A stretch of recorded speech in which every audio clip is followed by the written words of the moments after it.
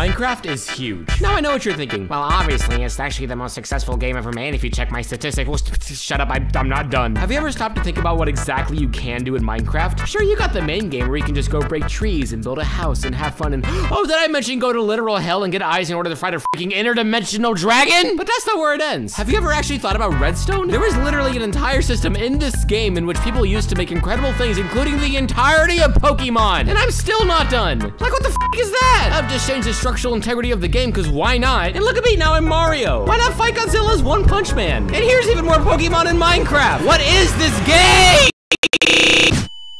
ah, what? Oh, I'm just in my room. God, I'm not feeling too well. I gotta go get some water. Uh.